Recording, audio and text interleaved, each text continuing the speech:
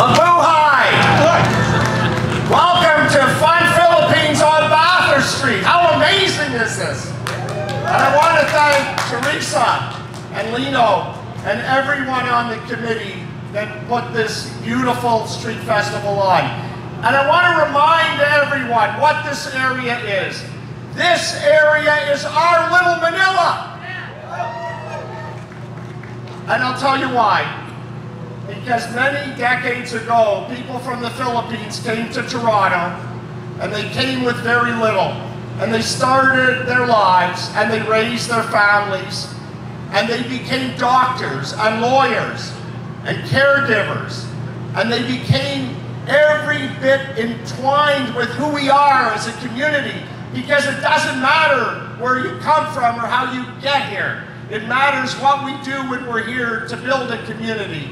And especially this year, as the Republic of the Philippines celebrates 125 years, we remember their struggle uh, to build the most incredible country in the world.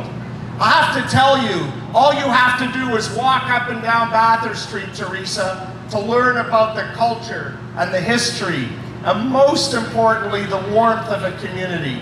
I am so honored to be the MPP, the proud MPP that has its constituency right here on Bathurst Street. And together with my great friend, our city councillor, James Pasternak, and everyone at all levels of government who works hard for the Filipinos each and every day, because there's nothing we wouldn't do to help them.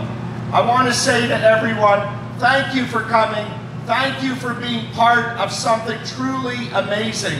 Let's build the best Ontario we can. Have a great day. Merci beaucoup, and miigwech, and mabuhay.